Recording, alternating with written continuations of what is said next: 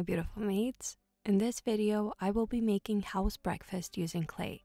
And I even included a little calcifer to keep the food warm while we talk, so let's get into it.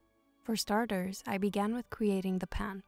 Initially, I was not sure how to do this since I wanted the sculpture to be super small, but I found a really useful tutorial which suggested using a sauce container to create the pan mold. With that said, I scoured my drawers and found a stainless steel sauce pot which was in my desired size. To make the pan, I placed a thickish sheet of clay which I gradually pressed across the sides of the pot. I did this slowly while constantly making sure that the base of the pan was as flat as possible. After flattening the clay sheet, I marked my desired pan height with the blunt end of my blade by holding my hand still and gently rotating the clay pot. After some testing, I have found this to be the easiest way to get a consistent pan height. When I was satisfied with the guideline, I came back with the sharp end of my blade and cut off all the excess and fiddled around with the pan for a bit to make sure that my clay was evenly distributed.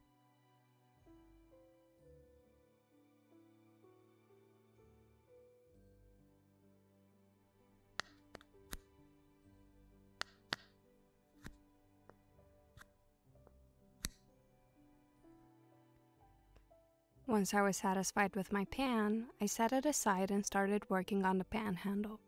To make the handle lightweight and use the least amount of expensive clay as possible, I folded a rectangle out of aluminum foil, tapered one side, and gave it a bit of a curve.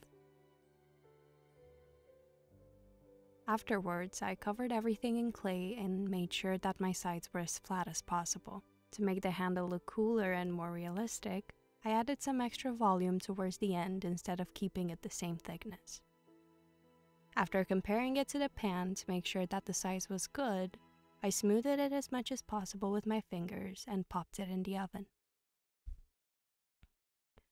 While waiting for the handle to cure, I began mixing my other colors. For my yolk, I mixed yellow with a bit of red to tone it down a bit. For the bacon pieces, I mixed a variety of orangey, pinkish, and brownish colors to represent the fat, the muscle, and the skin. I really like the process of mixing custom colors because it gives me a chance to mindlessly fiddle with clay, twist it, turn it, flatten it, and constantly adjust it. It's a really relaxing activity to break off the constant focus of sculpting. With the handle cured and cooled down, I began sanding it to remove the main imperfections. I usually find it very difficult to encase aluminum foil in clay while also building up a shape, so I often just rely on sanding to achieve the result I actually want. To finish up the pan, I create a dent by pressing in the handle so I have somewhere to attach it later.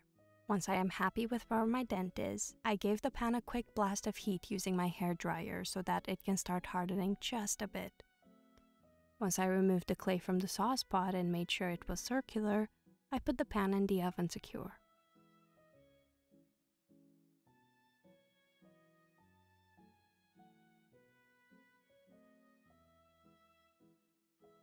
In the meantime, I began testing out ways to create my mini fried eggs.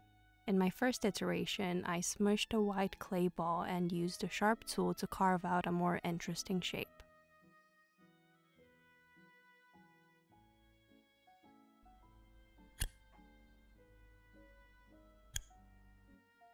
After some refining with a silicone tool, I created a dent for the yolk with a ball tool.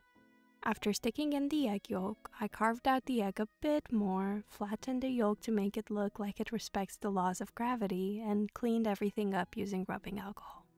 Upon reflection, though, I think it would have been best to have done this using gloves because the amount of dust that ended up in and on the clay was so bad, I had to repaint everything.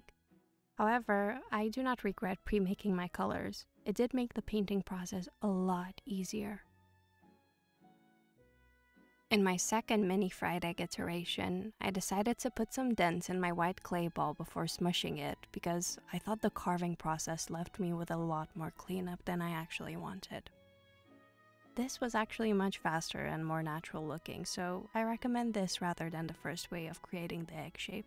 Apart from this, I applied the same techniques of cleaning up the edges with a silicone brush, making a dent for the yolk, and popping in a yellow clay ball.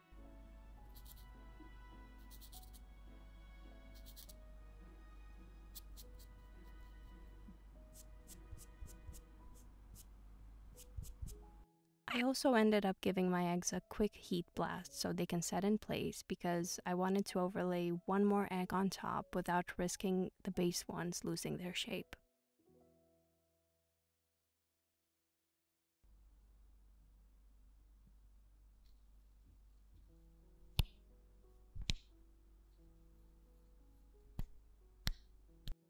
Once I was done with my three eggs, I made sure that they were slotted nicely against one another and left them on the side in order to finish up the pan.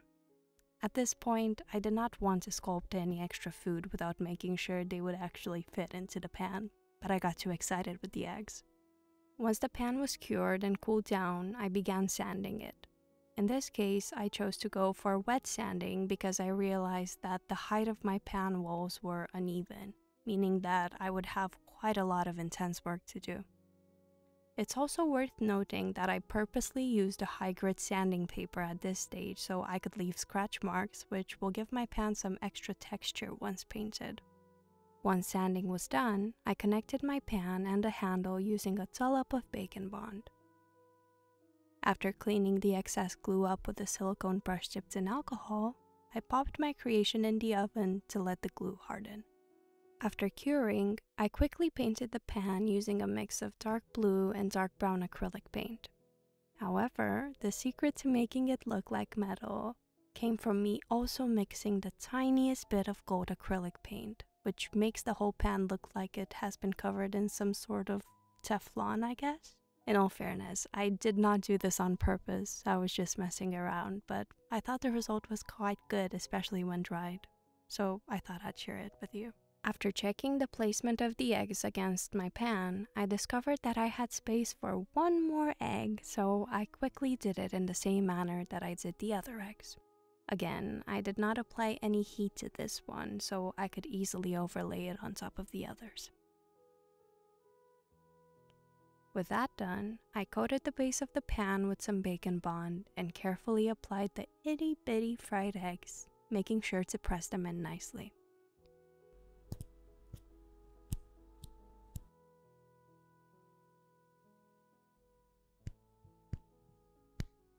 To set them in place, I blasted them with a little bit of heat so I can move on to making the bacon.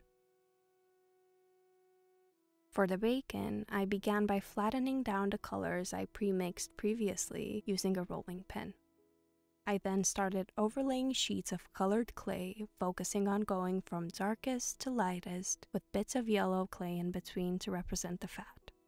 When doing this, I made sure that my sheets were not always the same size, shape, and thickness so that each bacon piece would look different. Once satisfied, I lightly pressed my clay tower and cut the clay into a block shape.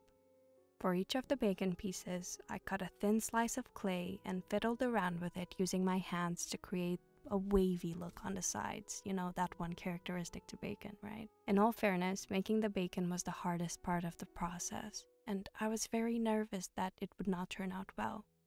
However, looking back at it, I'm pretty happy. For the bacon bits, I applied them to the pan the same way I did the eggs. I used Bake-and-Bond.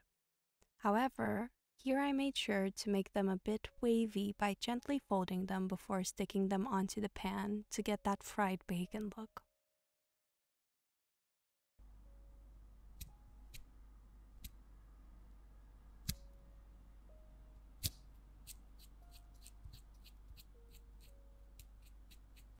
At this point, I realized I had been a bit too greedy with the eggs, so I quickly removed the small fifth egg using a blade and repositioned everything gently to make the pan look more balanced. Once I was done with this, I popped the pan into the oven to fully cure. After everything was set, I went back in with yellow acrylic to make the egg yolks a bit more intense and with some white to cover any leftover dust that was attached to the clay. This actually took quite a long time because my hand kept shaking, so don't forget to be patient and to use a very thin brush on the edges. To give the bacon a bit more of a fried look, I tinted those bad boys yellow by adding some watered down yellow paint and lifting up most of the excess with a cotton bud. To make calcifer, I used a UV putty which I pressed onto the sauce jar. Afterwards, I added some more putty on the sides and used a silicone tool dipped in alcohol to guide it into more of a pointy, flame like shape.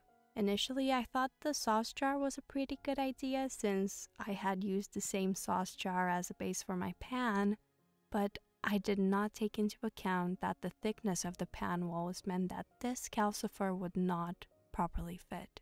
Regardless, I chose to continue going in this direction because I was too scared to work with the UV putty directly on my clay. It's really sticky.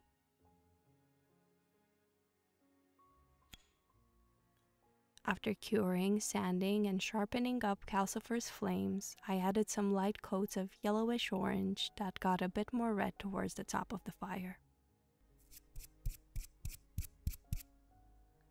Once I was happy with the transparency of the paint, I sealed everything with a UV resin and let it cure under the lamp for a few minutes. In retrospective, honestly, this was such a daunting process to work on since everything was so sticky and hard to paint. In the future, I think I'll just go with some sort of clay that becomes transparent once cured. Something like that must exist in this world. To seal up my food and give it some oily shine, I mixed the same UV resin with a bit of yellow acrylic and carefully applied it with a toothpick and later with a brush. I also added a bit on the pan walls to make it look like the oil has been splattering everywhere during the cooking process.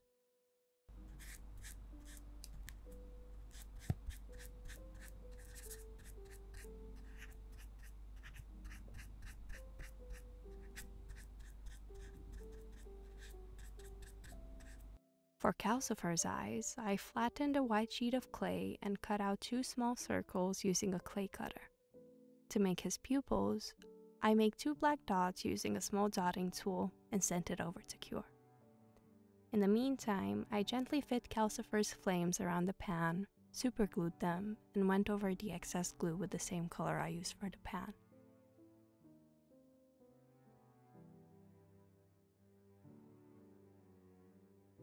Once my eyes were cured and hardened, I attached them to the flame with superglue and added his cheeky little smile with some leftover paint and with some very, very shaky hands.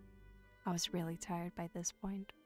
To create the stand for my pan, I cut a square of foam out of a bigger panel I had and used a wood stick to draw some random lines for a woody texture.